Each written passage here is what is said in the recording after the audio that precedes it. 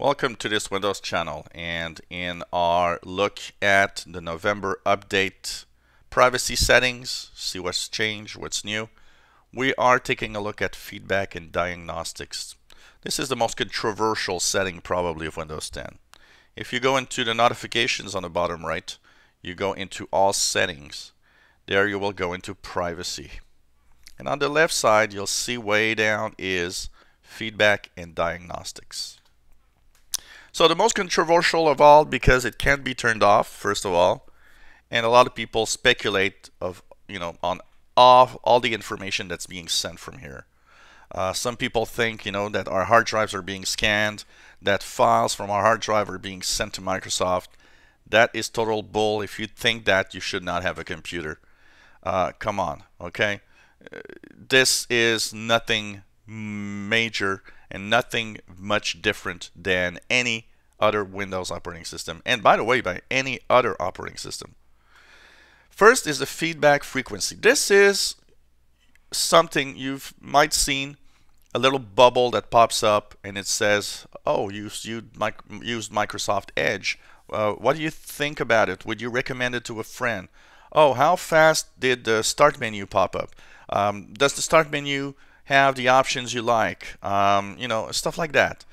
I've got those probably a, a, couple of times a week popping up saying, hey, you've never used this feature, what do you think of it?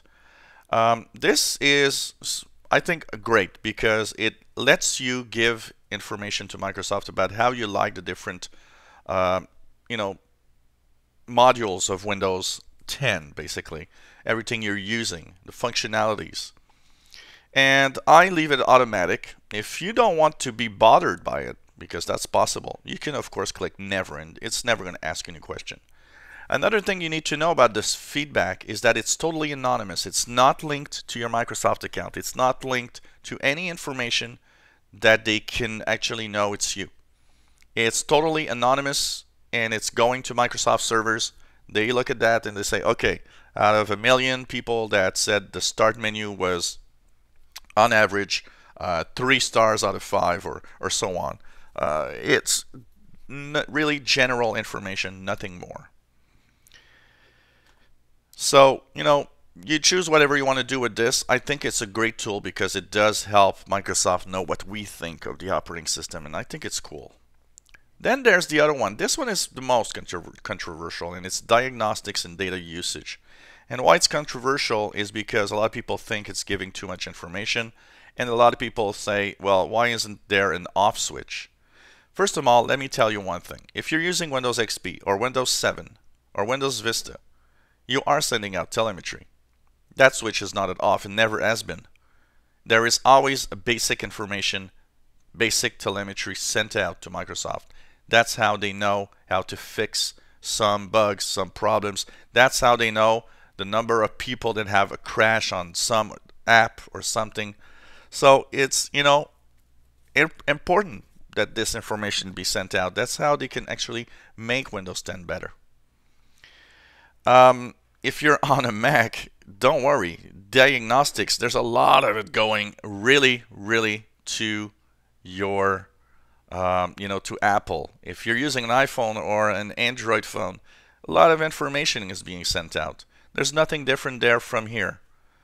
Full, what is probably a possibility of the full one. And that's the one that's probably the most delicate, just in case. Full is really sending out a lot of data, a lot of telemetry. So say Microsoft Edge crashes. Full means that it's actually going to send out maybe a screenshot of what you were looking at on uh, edge.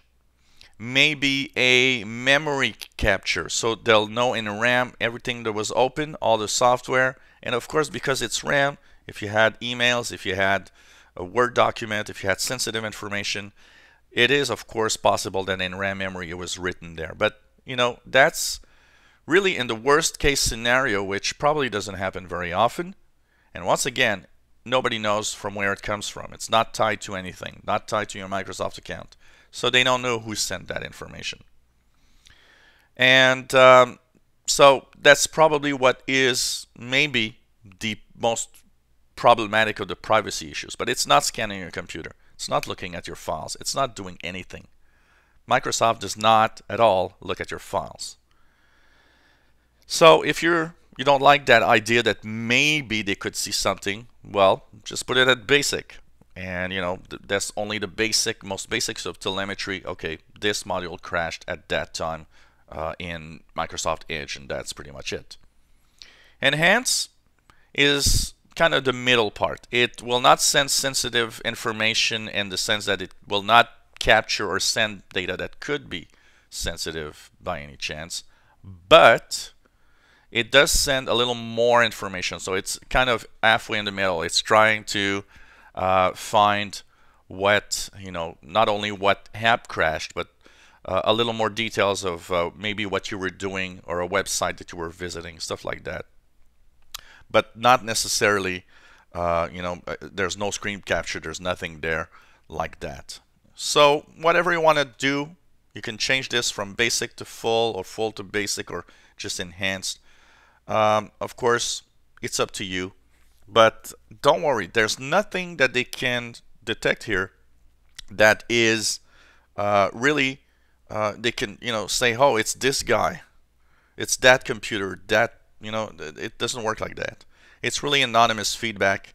And a lot of that feedback is mostly, mostly gibberish info that only uh, Microsoft Text can actually look at and say, oh, okay, it crashed in this module because of this.